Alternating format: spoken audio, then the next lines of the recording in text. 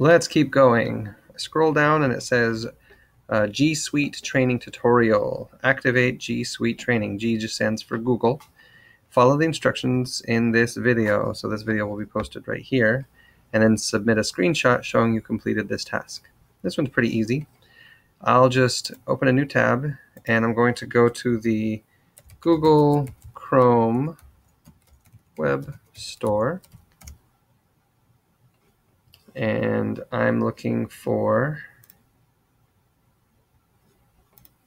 G Suite Training.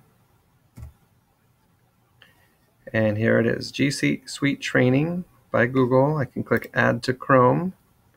And it's going to say, do you want to add this? Yes, I want to add this. I've added it. I want to show you what that looks like real quick. When I go to something like Gmail, and this is my school email account, now I have this little item here. Like, what is this? I can find out more about it by watching their little tutorials. Right now, I don't want to do that. I'll just click no thanks. But this enables you to search for help with the Google tool that you're logged into. So right now, I'm in Google email, so it tells me some things I can learn about Gmail. Let's say I was in another tab, like Google Drive.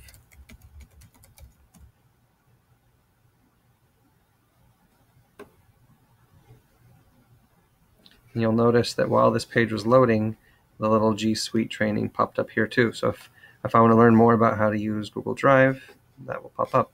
And I think the same is true for like Google Forms, Google Docs. You'll see this little G Suite training. It's just one extra helpful tool as you learn how to use Google to have more control over your learning and what you share, what kind of information you share, and how you organize your information.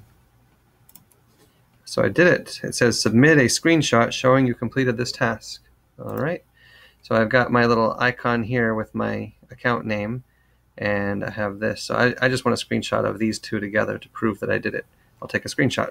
Control Shift multi-window key and I'm just going to select this part of the screen that shows my activated G Suite.